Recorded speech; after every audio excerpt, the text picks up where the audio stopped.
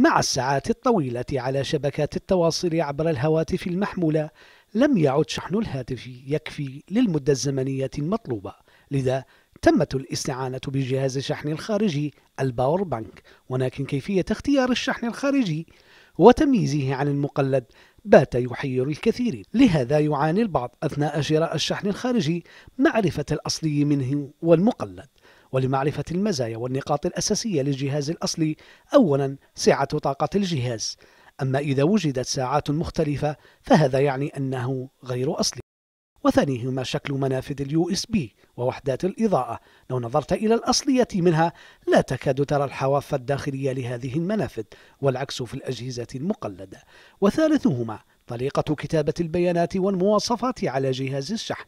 حيث ستجد أن الخط المستخدم في كتابة البيانات والمواصفات على الجهاز الأصلي هو خط خفيف قريب إلى اللون الفضي.